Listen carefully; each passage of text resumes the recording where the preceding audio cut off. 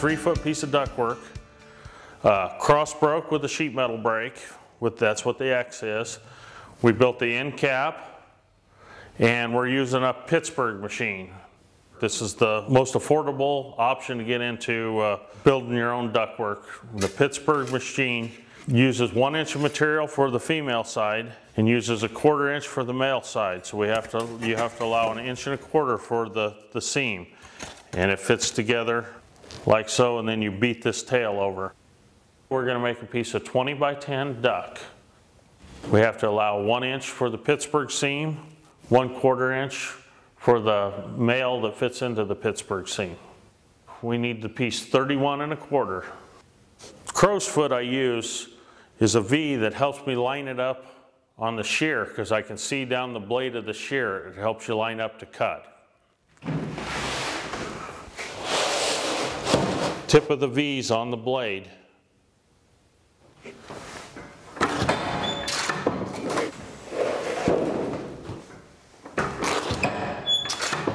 Okay, we're going to show you how to lay out the piece of duck and notch it.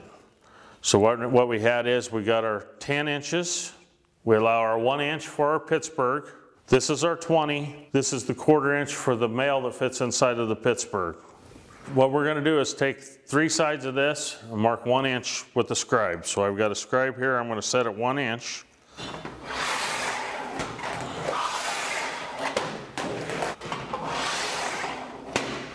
Then we got a quarter inch, so I'll reset the scribe for one quarter inch. Now we got to come in, because we're making this a piece of, L piece of duck, we got to come in and mark this at 11, or 10 inches plus that one inch. So the scribe I use goes out to 12 inches. So we mark this at 11.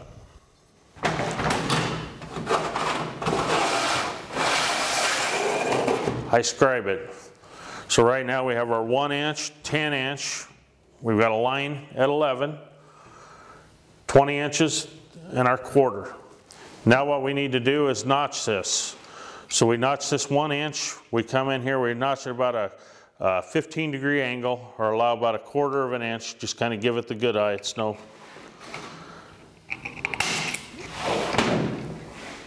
Notch the next one, about a 15 degree angle. Coming here at our 11 inch mark. Notch it. Now we have our piece of ductwork notched and ready to bend and run through the Pittsburgh machine.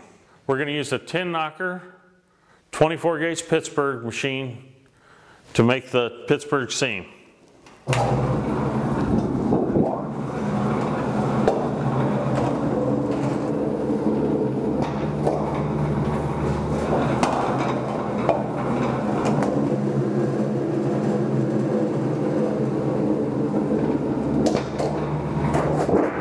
Cross break it.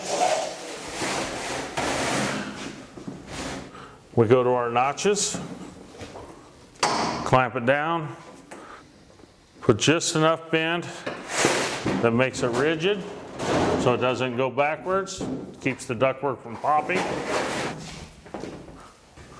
Okay, now that we have our X built, we have to bend that quarter inch and you can see it right down the line. Bend it up at a 90 degree. We line up our notch, 90 degree. We've just built one section. We're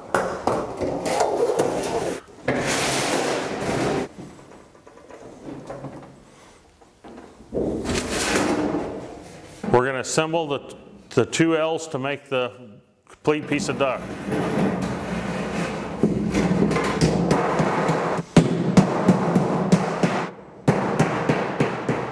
Sheet metal hammers are flat on one side. So you can either set and beat it down like this or you can put the hammer sideways.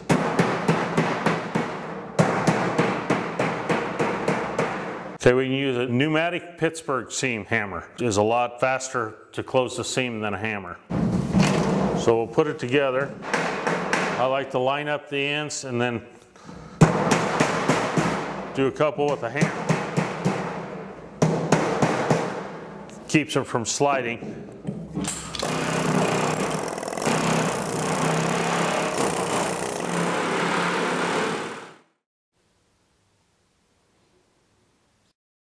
Now we have to bend our drive cleats. We're going to hook this together with S and drives.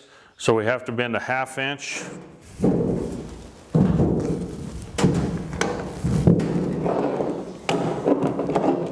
This is for our drive cleats to assemble. Now there's two ways of doing it. Most guys carry one of these on their truck. Then we're going to build one with a cleat bender.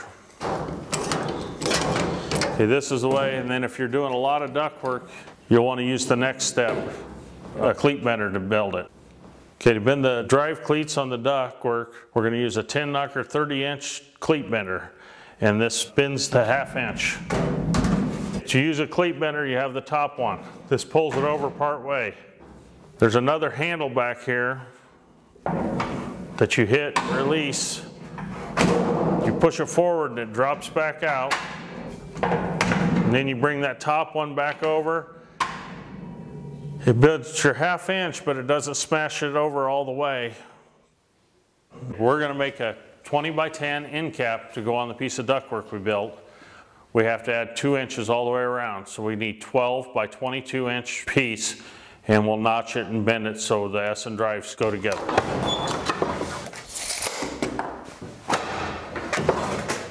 Now we have to scribe a line one inch all the way around.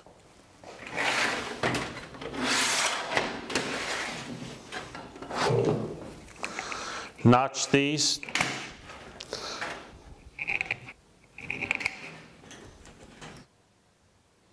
I like to put an X on my end caps or cross break them. So we're going to do this on our Tin Knocker 4 foot box and pan brake.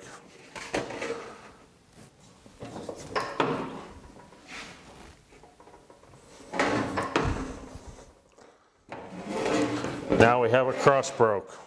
Then we have to bend this half inch for our drive cleats. And you can do this on the brake. Usually when you bend a half inch so it fits together seamlessly, you want to mark a line at 3 eighths of an inch.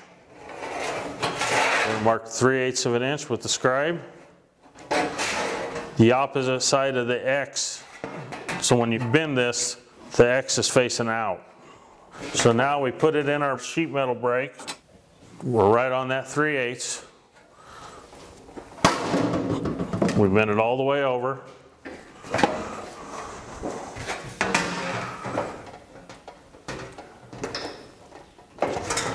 You push it down, but you don't smash the seam all the way.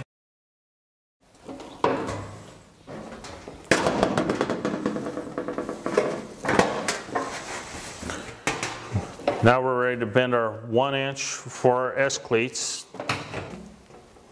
up at a 90 degree.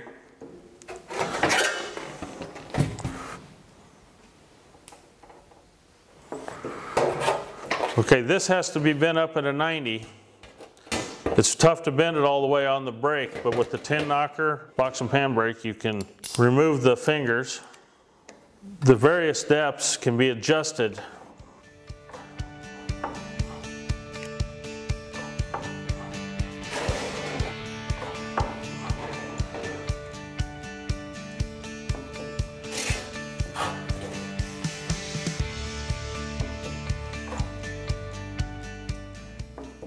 Now to put the end cap on, we're going to use S cleats. So we got to cut them to length. I usually put them up there, cut them about a quarter of an inch short. Makes it easy for assembly. Now once they're cut, they're smashed together, so we have to take a screwdriver, shove all the way in and just spread them apart. Now I like to put these, they're S's, I like to put them so they're facing out. It just makes it easier to put the ductwork together. Okay, then we've slide the one inch that we built, been in a 90. Now we have to cut drive cleats. I like to have them about an inch longer.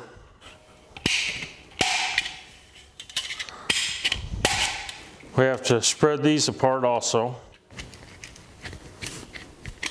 It hooks onto both sides.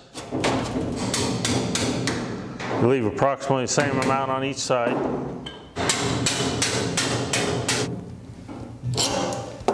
Now we bend them over.